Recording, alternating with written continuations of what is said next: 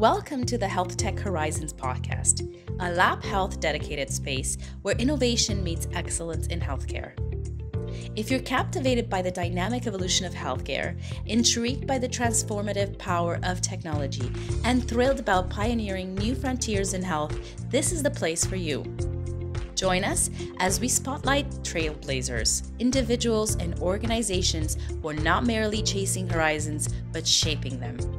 Get ready for engaging conversations, valuable insights, and a sprinkle of inspiration.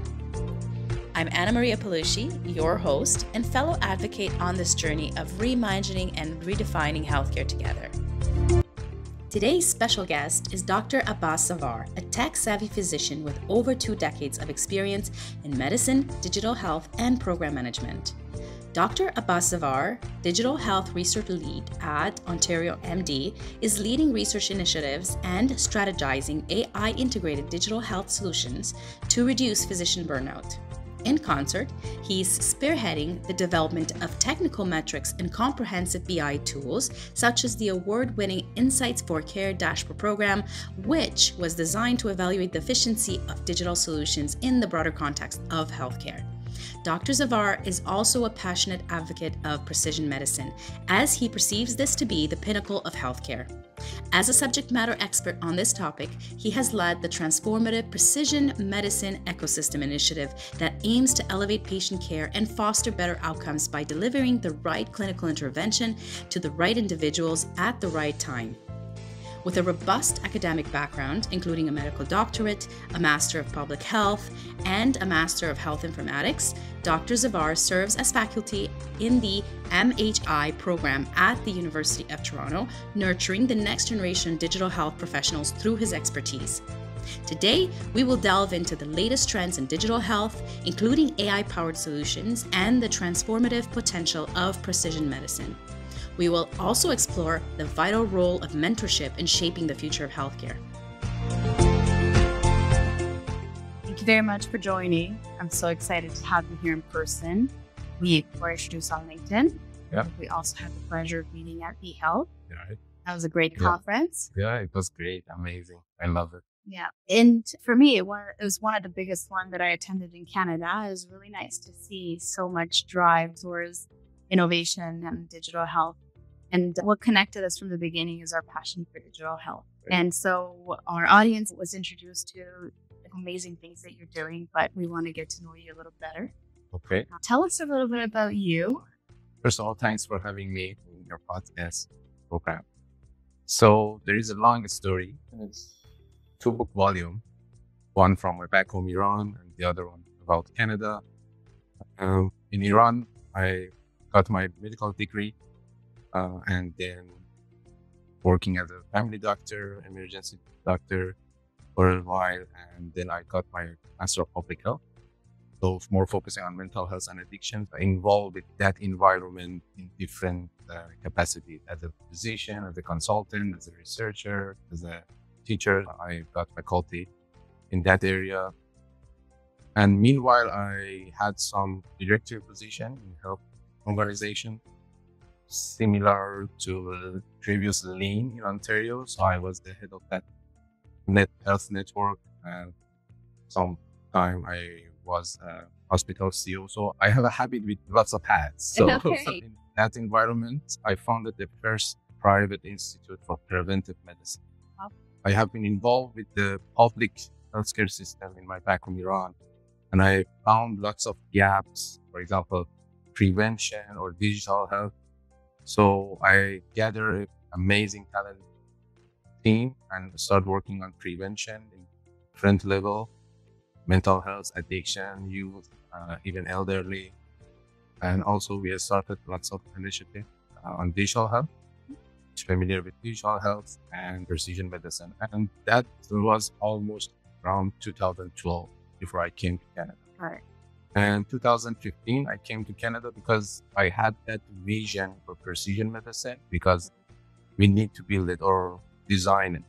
So I started from a certificate at um, Ryerson, Travis Ryerson, TMU right now, and then moved to the master program at U of T and also involved with several companies as a digital health consultant, And then I dived in the data analytics domain of under digital health umbrella and work as a data scientist some projects. It was great. I really love that.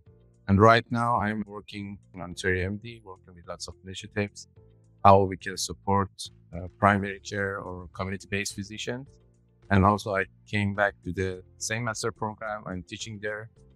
Uh, as I said, I, I love hats, so still I'm involved with lots of opportunities. So for those that are interested, quantitative skills in health health analytics. My course, health informatics. My quantitative skills in healthcare.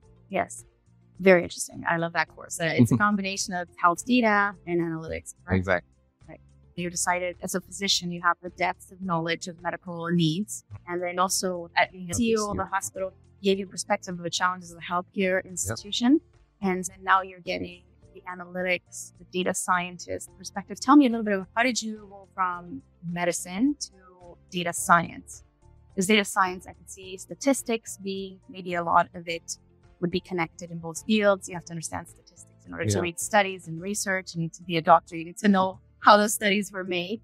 Uh, but tell me a little bit more about how that jump happened and what were the challenges and how, what did you think helped? I was familiar with this concept because I worked in also I founded the first addiction research center in my back home. So I was involved with research environment, data analytics, statistics, those stuff. Mm-hmm. And as I said, my vision was about precision medicine. And this is a very big concept, including lots of sub concepts inside of that. And if you go down in the core would be all our related data yes. for precision medicine. And AI definitely because there's big data, we need AI to handle those data, connect our data and analyze it and extract clinical insight in messy health data. Yes. So for that reason, I think that if I want to design that blueprint, yes. big holistic precision medicine approach, I have to familiar with the level of data science mm-hmm. and data analytics. So for this reason, I invested in that area. Got it. Did you miss medicine per se once you geared away from intense medical practice to more data science? Did you find that you missed medicine or did you find a new passion? Somehow, but new life is more it's more motivation mm-hmm. but still I, i'm not uh, as a doctor practicing here i'm supporting my wife she's family doctor so i'm support her nice. in her clinic as an assistant somehow again i'm designing something for family doctors which perspective so great because you bounce ideas off of each other and that keeps you also very much deeply involved in yes and the world and the functioning of exactly. medicine yeah what is most excited for you right now, either within your organization or outside of it in digital health? The right hot topics right now, AI in healthcare. Yes. After explosion by ChatGPT, two years ago, I started very comprehensive studies, environmental scan, to understand if without any barrier, I want to implement a precision medicine approach in Ontario. How much Ontario is ready for that? Mm-hmm. So we start investigating, interview almost 100 director or different level of the healthcare system and try to understand what's happening for data in Ontario. Mm-hmm. Because as for precision medicine, we don't only need health data. We need genomics data. Mm-hmm. We need lifestyle. We need environmental data. So we start digging and mm-hmm. finding, okay, what's happening? And finally we published the result as a white paper last year and shows us that all of our data are not only is messy, not accurate, different standard, mm-hmm. they are silent. Mm-hmm. Nobody have access to it. And nobody want to share it. Mm-hmm. So data exchange, interoperability, data accuracy, they are the big challenge right now. And I my focus is that how can I connect it these dots. Right. With AI, it's the perfect idea. Otherwise, how what would be the solution? Mm-hmm. We can resolve these gaps and barriers. So when you say people don't want to share data, is it because they find it to be a competitive advantage for their business? Or is it because of fear of liability or mistakes that they made, unfortunately, or privacy, security, liability, all of, all of this? Do you find that recently there's a more concerted effort uh, at the government level to bring companies together? At the e-health conference, we saw a lot of the interoperability concept. It was probably the main thing discussed there. And discussion is one thing, and I'm really excited about that. But being so close to the issue, do you find that currently the rate of change, implementation, and preparation has increased, or it's the same? Hopefully, they are changing something for sure. Uh, I, I believe from last year, Ontario Minister of Health in Ontario and also at the national level, they are more focused on data level about anything about data standards, interoperability, and they want to provide new policies and approaches. But the thing that I'm seeing is too slow. Too slow. We are very behind what's happening in the environment, in the mm-hmm. market, in the mm-hmm. business. Mm-hmm. Our system is very behind. For example, as right now we are talking about AI in healthcare, mm-hmm. but AI is all other industries. Yes. For years. Yes, that's true. And even we want to implement AI in our system, okay, we don't have the foundation for that. AI needs huge data, big data to mature their algorithm. But when we siloed our data, we said, okay, because of privacy, because of security, I don't want to share my data. So there is no fit for our AI system. And, and one way I'm thinking, if we have, we take our time implementing the regulations and the ethics considerations while the rest of the world creates the technologies, we can then implement it safer and healthier once we know what we're doing. And that's one way to look at it. The other way to look at it is how much would we achieve if we started at this time? And I see a lot happening, especially U of T, Vector Institute, There's a lot happening and a lot of different companies are working. Like you said, it's there's siloed AI initiatives in healthcare that hopefully at some point will communicate with each other. Mm-hmm. But I think the most promising thing I've seen recently is the eHub that I understood was created as a government initiative platform where different some of the largest players are plugging in mm-hmm. in order to share data and organize it. And it's not a very commonly known thing that is happening, but it is definitely moving things forward very quickly. Hopefully. That's something that is both controversial because I feel mm-hmm. a lot of people might not like the fact that's right. happening. And then some people will get very excited about the fact that things are finally starting to move. Right. How do you feel about that? Yeah, um, this is a very multifactorial environment. As I said, okay, it's about what is the origin of data. It's in hospital, in a doctor's offices, and the data is there is in different standards, mm-hmm. and the accuracy is low, mm-hmm. messy. So we need to define digital health solutions, preferably AI solutions, to handle this data, clean this data, and make them as a same language. Right now, we have 15 EMR vendors in community-based environment, wow. and any of our hospitals is talking different language. Epic, Meditech, Cerner. Yeah. Yes. So there are lots of language. None of them understand each other. So sure. we need to define this layer by layer and connect all, all dots. I would say, based on what the news is say, like it's showing us that Epic is really leading the way. Uh, I see that their collaboration with Nuance and Microsoft, uh, and they're adding different platforms to really lead the way in the way documentation is automated, uh, yep. transcription is ambient, uh, and so. And then I see a lot of what's happening with Google and their whole entire ecosystem. Right it's it's going to be interesting to see how different companies are going to address these drastic changes in the landscape. Yeah, for sure. There are, as you mentioned, lots of big companies, even smaller one vendors. They are focusing this area, how they can they want to apply AI in their system, how they connect with.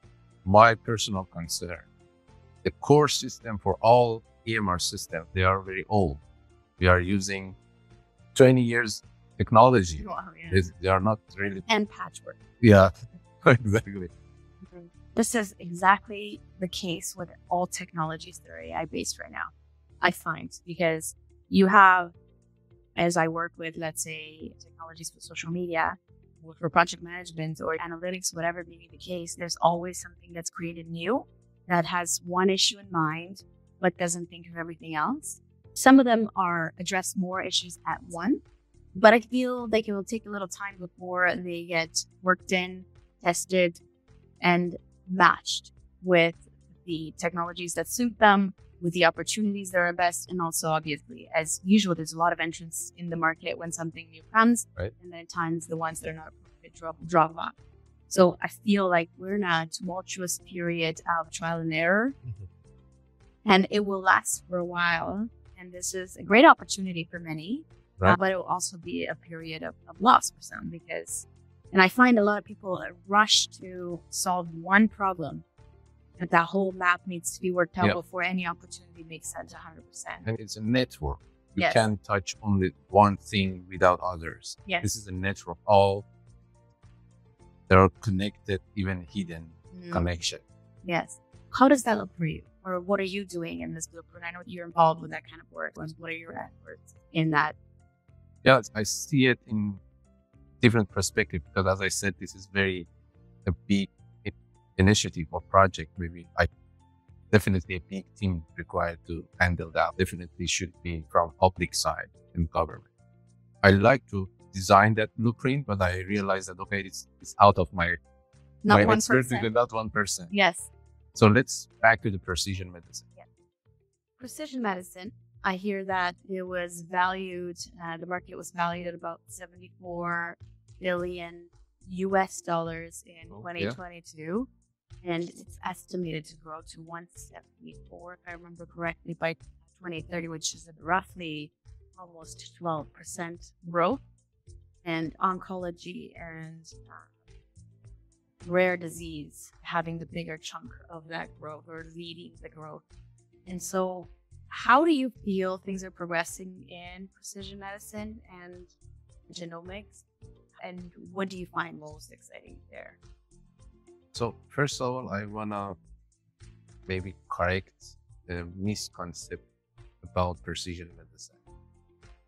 Precision medicine or personalized medicine. When you talk about that, everybody only think about genomic side of precision medicine. We are missing lifestyle and environmental. Mm-hmm. All of those investment you mentioned, they are on genomics or a bigger one, omics, is proteomics, metabolomics, microbiomics, all of those biomarkers. All of those investments only in that one of the four main data component for precision medicine.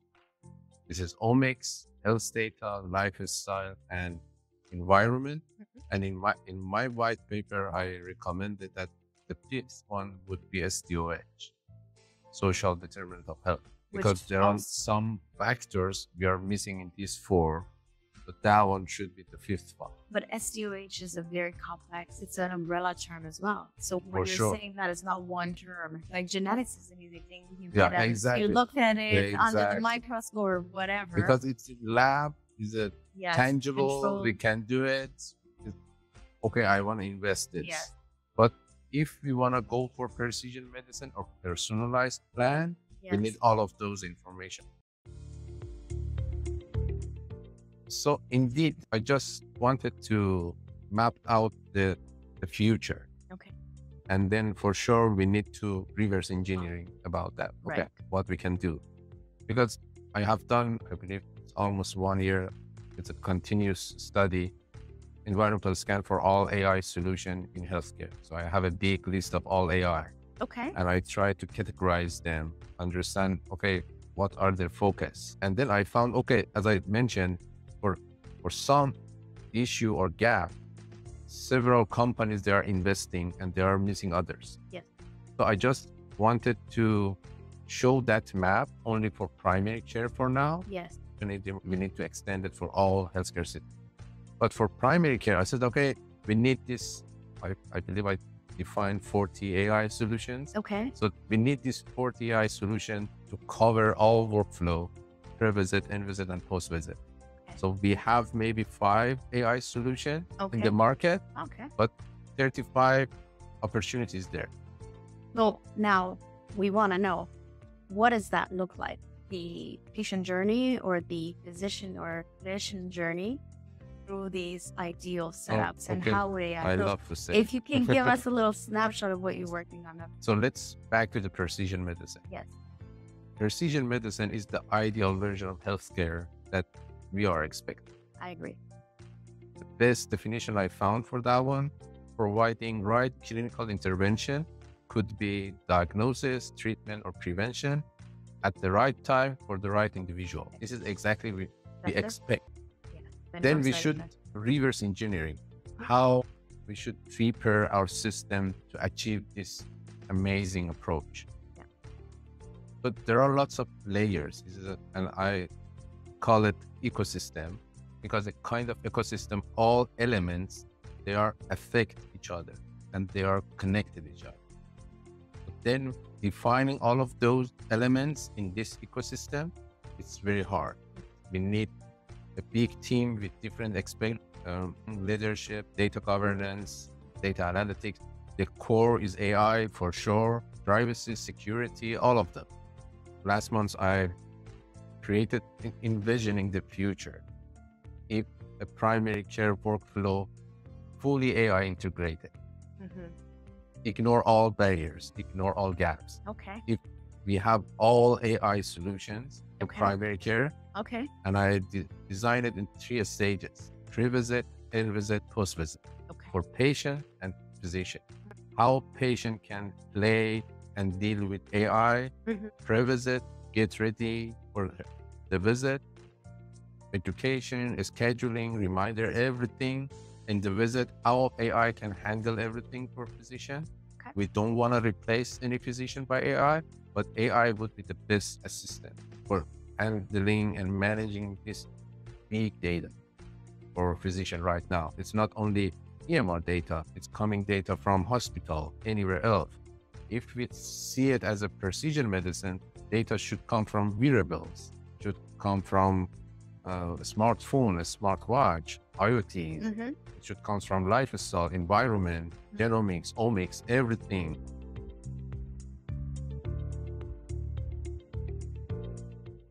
So this I can see solving two big issues, which is uh, wasted time for everybody. So no waiting times because a lot of the issues have been handled in advance. Patients obviously have access to physicians and specialists more because they are more available. Yep. And then obviously physician burnout. Uh, and we have that in nursing too. So I know it very intimately, but that's also very close to your heart. Uh, Yep. Yeah. So- yeah. I came with all of these idea, uh, ideas to solve the burnout. Exactly. Yeah. And we, and also all the time we are talking about patient centric approach. Yeah. But we don't have it. Yes. But in this envisioning, Yeah. this pa- patient centric. Yes. All information about patient, we want to gather it, clean it, and prepare it for a personalized plan. Hmm. And physician, they don't need to having a very cognitive burden Mhm. to handle these data, following all research, new publication, papers, articles, new guidelines, everything, all already are categorized in the system, ready with some recommendation for you. And even in the visit, they don't need all the time see the monitor and typing. The system understand it. This is a very compassionate care plan. Uh, in Ontario, the, uh, the group that I'm working with, that one is a partnership and stakeholders. So we want to bring in all digital health experts and companies work together. And this Ontarian, this new strategy for Ontarian is that how we can lead them. So I believe this map help Ontarian to lead startups, company, new companies, or even vendors. Okay, this is the ideal version of primary care workflow. How let's see and sit and Wow. think together how we can solve it Got it. how we can achieve it. Mm-hmm. Because the most partners that currently working with Untrend is community-based EMR vendor. So they have very old technology. Definitely they need to have enhancement or improvement in their system if they want to handle this new map.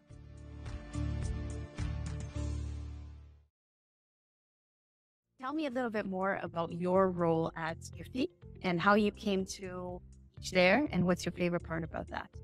The, the course that I'm teaching, I started two years ago, and this fall would be the third year. So it was a total revamp of our old course that I have done it in my master program. It was very advanced statistic course with lots of crazy formula of statistics using SPSS is the old fashioned software. And it's not practical for MHI or Master of Health Informatics graduates.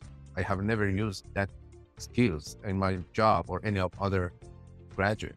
Several times a student's graduate gave feedback to the program director and finally Dr. Karim Keshavjee, our recent program director, said, okay, I know that you are working data science, so give me an offer what you can do, how you can revamp it. So I put together with one of my friends, the co-instructors, we started with the statistics in combination of SAS. So SAS is the most popular coding software in the government institute right now in Canada. So it's not very advanced. It's a high level of statistics, just very routine skills they may need for any research in the project or research in the, any publication or something.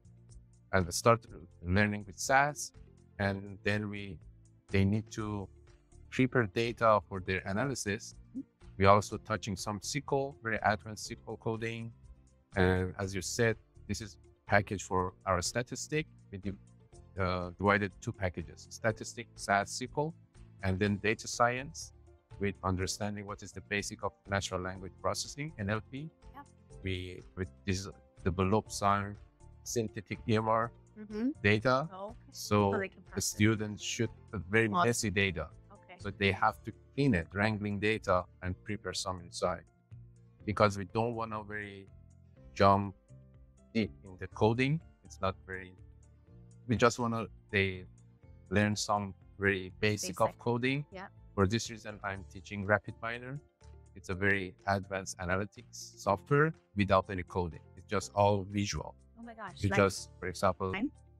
Sorry? KNIME, the analytics. Uh, yeah, I heard. So that's those. Yeah. It's a very no coding again, and it's a very practical way of visualizing analytics. Yeah, and that's what I one. learned when I did. Yeah. Oh, yeah? yeah, it's the same thing. Yeah, but yeah. RapidMiner is very advanced. Even you can design AI or deep learning Wow. that one.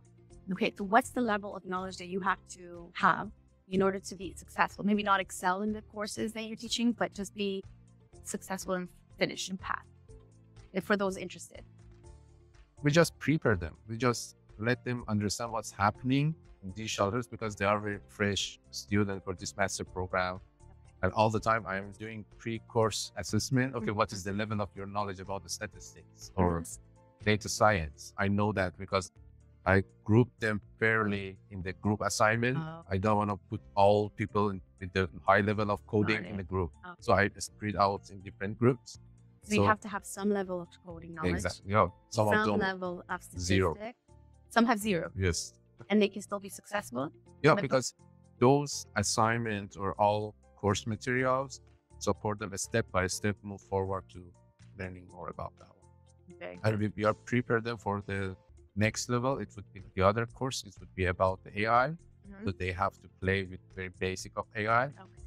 This another course. So we are pre- prepared them for that the other And how long is that course? two years. years. And it's for two different cohort. One from regular one. There are more people from bachelor. They are coming. Yeah. in The regular one, and we have a practicum for them. They will go in the second year in some companies working and implement project, design and implement. Also, we have the other cohort is a executive cohort for Yeah. some people that already they are working in the system. Mhm. They just wanna hone, or yeah, upskill and hone their skills in this environment. So they join us, and instead of practicum, they have to design and implement a project in their workplace. Oh, got it. So And so I'm assuming that the answer is many, but what would be the roles that someone completing this master's program would assume or would be able to look forward to yeah, this is in that. terms of actual titles? Yeah. I'm supporting the program director, Dr. Shabji, in this way. We are doing some market research and do some evaluation. Okay, what's happening for all similar program in Canada because we have the same master program in Dalhousie, McMaster, Waterloo, Victoria. And we saw that any of us, we are seeing this big package in different way. McMaster from business, Victoria more focused on health information. Victoria is Waterloo is very technical. We are all the engineers are there. exactly. We are seeing this one from leadership and policy making because our program is under IHPME, Yeah. Institute of Health Policy and Management. Mhm. So we are focusing in that environment. And we are planning to improving the, the whole curriculum to train future leaders for digital health for Canada. amazing. I might check it out Yeah. myself.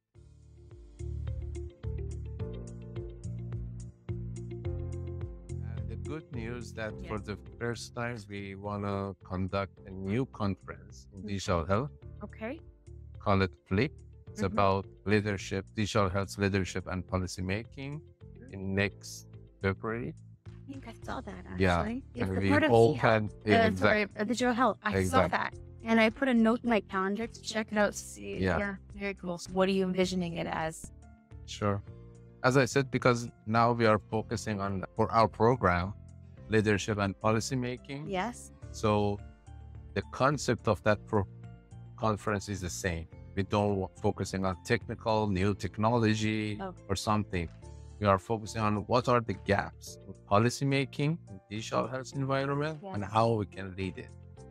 We are just accepting submission as a briefing note, not as a very academic paper. Okay. So then it would be a lecture in the panel, poster presentation, and also we created hub with other universities. So the core would be in the Hart House in February 22nd next year with in-person people, panels, government, or a specific guests we will have there. Mhm. And in the same time, we have five other hubs live Mhm. in IHPME, in McMaster, Dalhousie, Waterloo, and Victoria. Mhm. They are participating in the live uh, virtual hall platform.